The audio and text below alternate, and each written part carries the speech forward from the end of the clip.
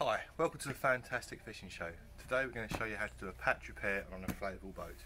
This one had uh, a patch on there already which was leaking, so I've removed the patch and I'm going to show you how I'm going to fix it. It's a particularly difficult one to repair because it's a very large split and it's near a seam. So I'll just grab the camera here of my lovely wife.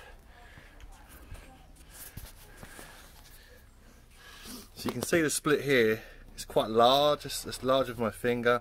It's right next to this seam here, well it's the seam here, and it's difficult because you can see where the old patch was, it's going to overlap this seam and it's going to overlap this seam here. So air has the potential to leak out through the seams. It's very difficult to get the patch down smoothly. So we'll do, I'm going to put a slightly larger patch than was on there last time, trying to do a neater job than the previous person. And then if that doesn't work, we're going to try and use a liquid repair, which will work from the inside. So we're going to try and do like a double repair if the first repair doesn't work. So the things you're obviously going to need for a normal patch repair is a two-part glue uh, adhesive. There's two kinds of rib or sib. There's ones that are made of Hypalon and there's the ones that are made of PVC. The best way to find out is, is contact the person you bought it from. If you bought it new, so go to your dealer and ask him, is your rib or sib made of PVC or is it Hypalon? Failing that, you could contact the person you're buying the adhesive from and, and, they may know by brand. So if you had said my ribs are Suzumar, they'd that it's PVC. But if they told you it's one of the other brands, it might be different. But you need to do your own research on that to find out what they are. But you need a two-part glue. Do not bother with a single-part glue for repairing these kind of patches. Then you need a patch. They can be square or round. It doesn't really matter.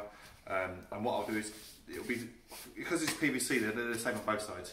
But I'll sand one side just to take the sheen off, to shine, so that the adhesive can stick to the back of the thing. So you need a bit of fine sandpaper, pot to mix your glue in.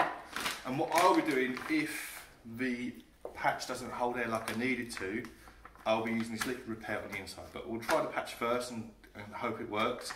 But if it fails, this thing called liquid repair, made by a company called Ribrite, uh, claims you can pour it into the tubes, move the rib around so it covers the inside area, and then it will um, fill it in holes. So we'll try that if, if it all fails. So when mixing it, I, I, could tell you what it does on here, but I'm not to do that because they're all different. So just follow the instructions um, and what your glue says.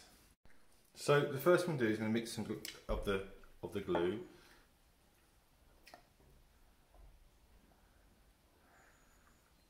You don't pour the hardener into the glue because then all of your glue will go off. So You want to mix it in a pot separately, so you're only going to mix up the amount you need.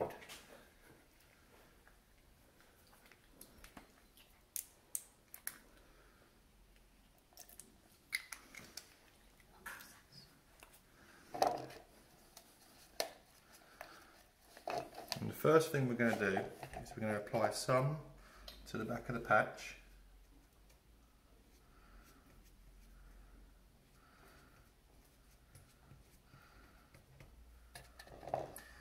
going to let this start to harden for a while because we want this to be tacky. And then we're going to apply some to the boat. You just need to put some air in there. So you don't want this pumped up fully because um, the pressure will push the patch off. But you need it pumped up enough so it takes the shape the boat will be when it's inflated. Because if the boat isn't at the shape when it's inflated, it, will the. So I'm just pumping it up enough so that I can get the shape of the front there to be what I need it to be.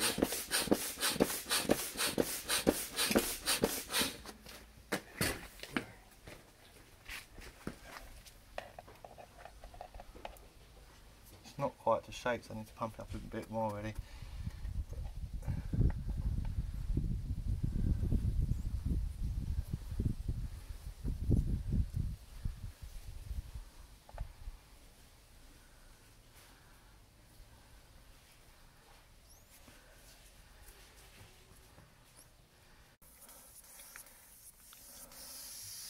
So as you can hear, the air is escaping through the hole. It's quite a large hole.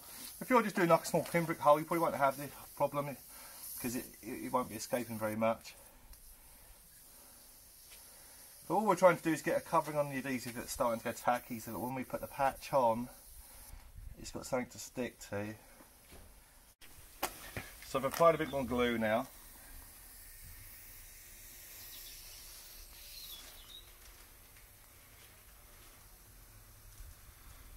This is the hard bit. I need to try and make sure that this seal and the patch covers these seams.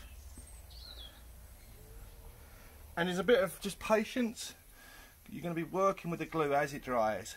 Try not to leave any air bubbles pushing from the middle of the patch out. Like this.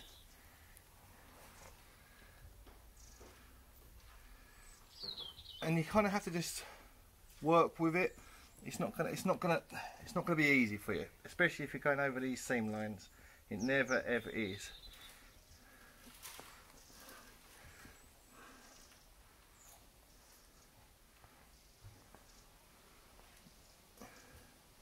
If your patch was in a really not visible place where you didn't mind if it looked a bit messy, once it's set you could go around the edges with some adhesive and sort of smear it in but it will yellow it will go horrible it'll look really ugly so if it's in a place where you don't really mind it looking so ugly that isn't going to be the end of the world but if it's like this and it's on a part of the rib you can see it, you know you're not going to want that so one thing I forgot to mention at the start is that you should have been wearing gloves when you're using the glue. So as soon as I got to the point where I knew I had to sort of touch the patch and work around it, I went and got my gloves on. These are just disposable latex gloves. Anything you've got will work fine. Just anything to keep the glue off you.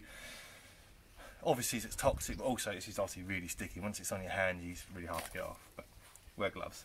Anyway, so we're at the point now where we've got the patch on and it's starting to sort of cure and it's starting to set. And so what you need to do is you just need to keep going round with a pair of gloves.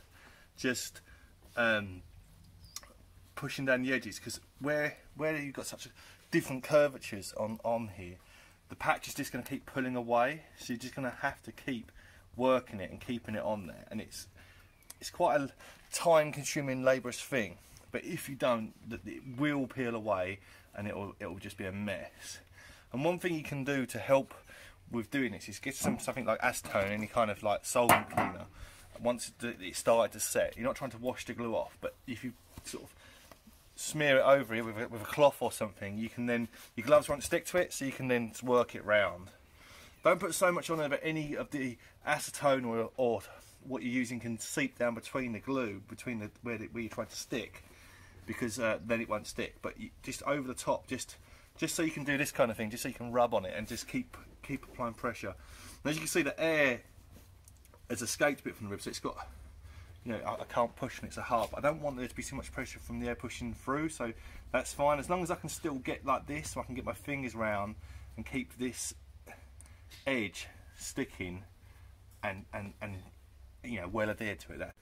So I've been working at this for sort of, sort of four minutes, five minutes now. And one thing that people always wonder is when do I need to stop? How do I know when the glue is set enough that I can just leave it be?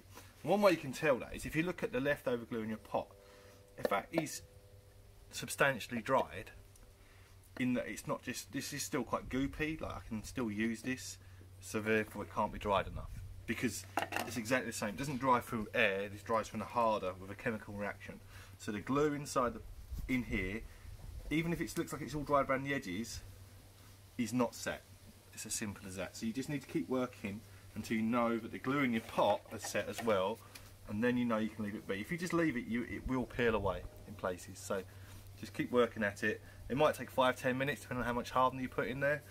And then once it's hardened to the point where you can leave it, I recommend leaving it for about 24 hours before fully inflating it. Don't give it just an hour or two. It probably will be hard enough, but if you want this thing to last, you're going to have to see. You want to know that it was fully set before you put any pressure on it. So we'll do this and then we'll leave, once we get it to the point where I know that it's not going to peel away at the edges, I'll leave it overnight and I'll come back tomorrow and I'll fully inflate it and see if we've got any leaks.